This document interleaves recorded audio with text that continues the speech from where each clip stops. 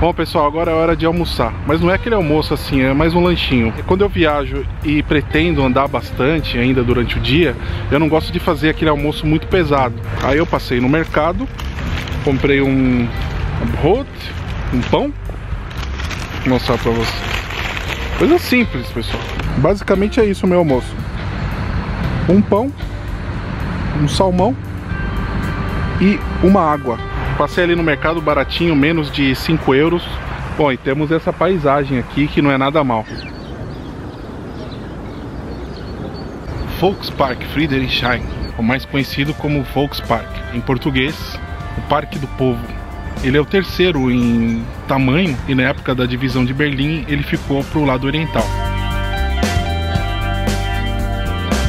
O parque é do século XIX, mas ao longo do tempo passou por muitas modificações, a principal delas no pós-guerra, porque aqui também foi um local muito danificado.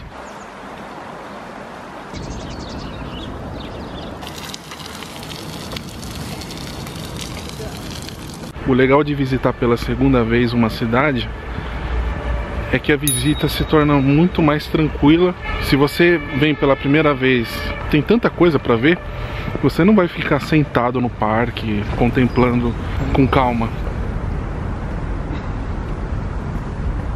Berlim é uma cidade que das principais para mim. Desde a visita que nós fizemos a primeira vez, ela mudou todo o meu conceito de vida.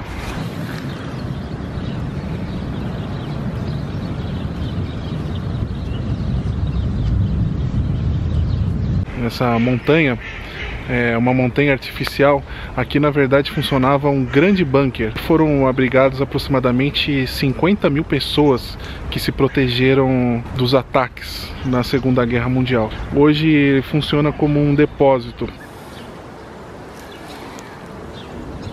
Pessoal, muito bonitinho um casal aqui de senhores. Eles chegaram com uma sacola e agora eles estão pendurando nas árvores alimentos para os pássaros, para os animais muito legal. Eles já são organizados, bom, são alemães, né? Ele já tem um sistema lá que ele já coloca na árvore, puxa um fio e já fica amarradinho. Coisas de alemão que eu não sei explicar, mas é muito eficiente. Mais que isso, um belíssimo exemplo de cidadania e cuidado com a sua cidade.